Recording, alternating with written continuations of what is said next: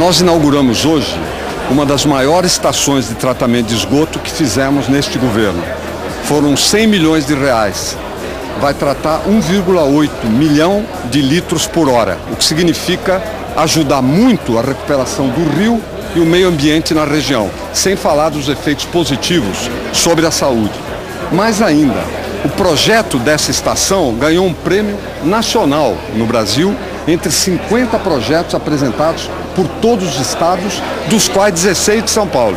E este aqui ganhou o primeiro lugar, que inclusive traz um prêmio de 16 milhões de reais para a Sabesp investir aqui no Vale do Paraíba.